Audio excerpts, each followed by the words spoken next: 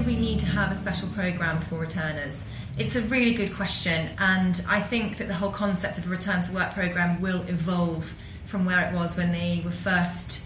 um, they were first, I suppose, done over here in 2014.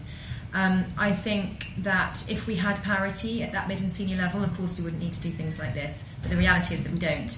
And the reality is that there is, whether it's a real or perceived risk in hiring someone with a CV gap,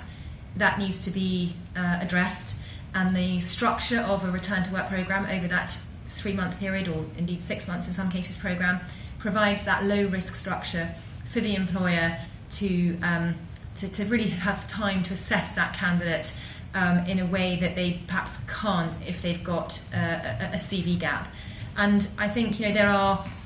every returner is different, every situation is different, um, and many candidates are absolutely appropriate just to go straight into permanent positions. Maybe they might need a bit of additional support in those early days, maybe not. Um, but I think that there are many, many returners out there who have had a,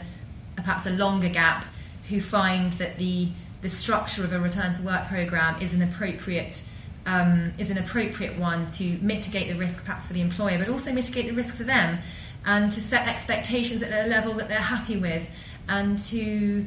to, to ensure that there is a, a, a, thoughtful process around their return to work that provides them with that support that they need, the technical skills updating, the um, the confidence, uh, regaining their professional confidence. And I think uh, you know, regardless of whatever happens at the end of that program, that returner is um, is going to end up with some very CV-worthy experience at the end of it.